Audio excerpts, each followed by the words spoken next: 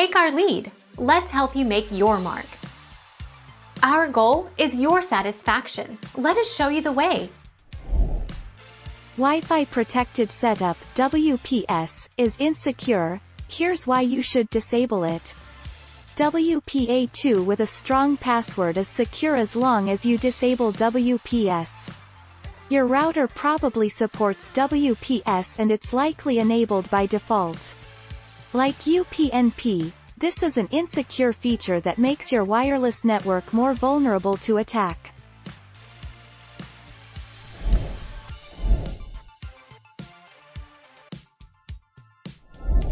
Take our lead. Let's help you make your mark. In some devices, disabling WPS in the user interface does not result in the feature actually being disabled, and the device remains vulnerable to this attack. Firmware updates have been released for some of these devices allowing WPS to be disabled completely.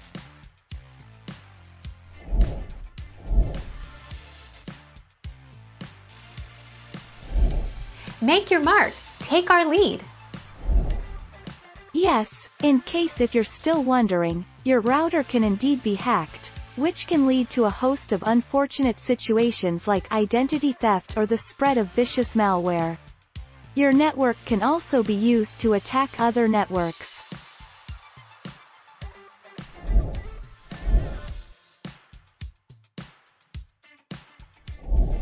Make your mark. Take our lead. This is why we disable WPS. Once disabled, you'll need to use the conventional password method to add additional devices to your Wi-Fi network, less convenient, but your router will no longer be vulnerable to a WPS attack, more secure.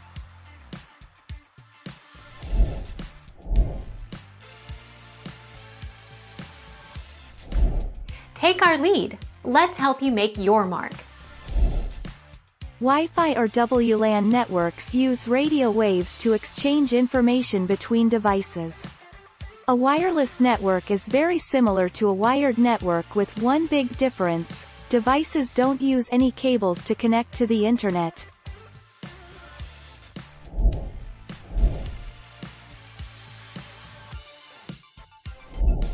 Make your mark. Take our lead.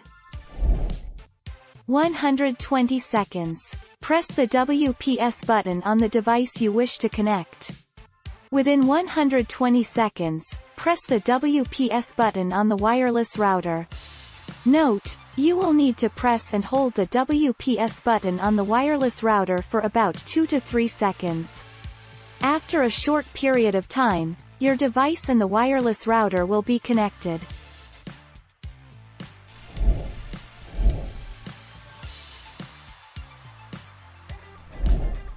Take our lead.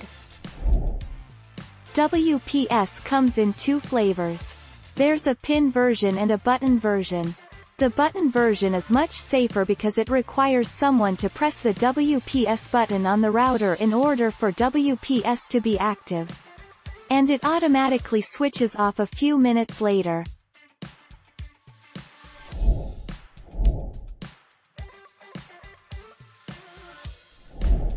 Make your mark. Take our lead. WPS stands for Wi-Fi Protected Setup. It is a wireless network security standard that tries to make connections between a router and wireless devices faster and easier.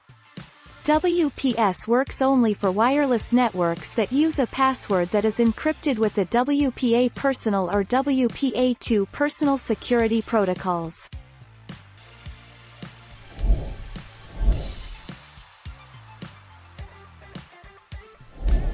Take our lead. Let's help you make your mark.